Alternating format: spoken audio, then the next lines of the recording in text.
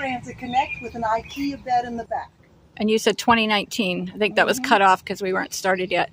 Okay, so show me how you have the inside set up. Well, I put an IKEA bed in there. Let me open up the other side. She's got a lot of floor space here. Put the bed back there. Then I built some cabinets. This was for my shoes. That was for my pantry items. I've got a couple of fans in here, which will get me through the hot. And then I use an electric blanket and a space heater for the cold. And I have been everywhere from 27 degrees to 95. And this has worked out just fine. I keep the clothes under the bed in the, the Rubbermaid containers. Uh, kitchen items are on the other side in a Rubbermaid container. I carry my gym bag with me that takes me into the bathroom for showers.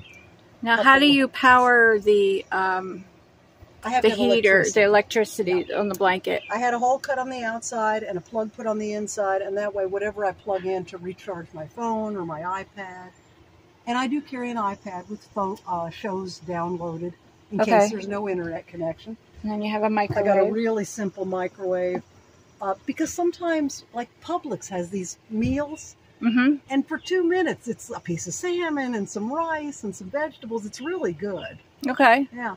The curtain protects me from people seeing into the front. In the back, I have these things that just slap up under the windows, and that gives me privacy back there.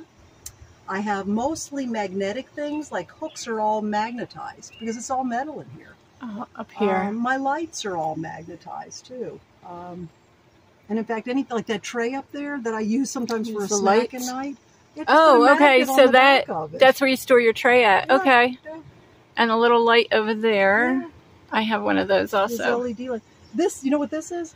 I have occasionally stopped at a truck stop, and those are earplugs. Because sometimes you're just sleeping at a truck Oh, stop. behind the Yeah, in fan that right there. container, and you want to reach them real fast so you can go right back to sleep. Right.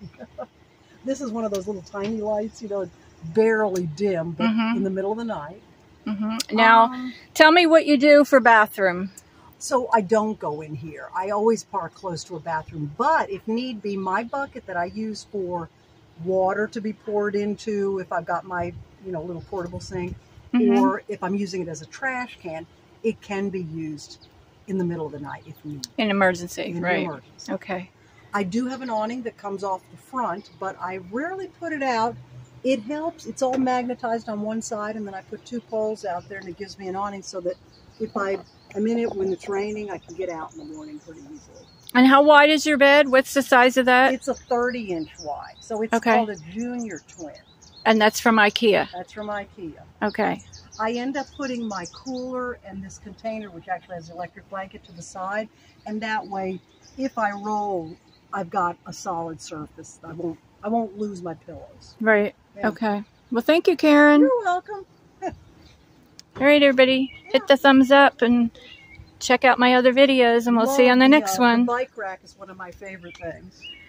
It's so easy to take your bike off of just a few inches high, hmm so that You don't have to lift it high. no. I don't have to lift it very Yeah. high at all. It goes on easily. It comes off easily. It's perfect.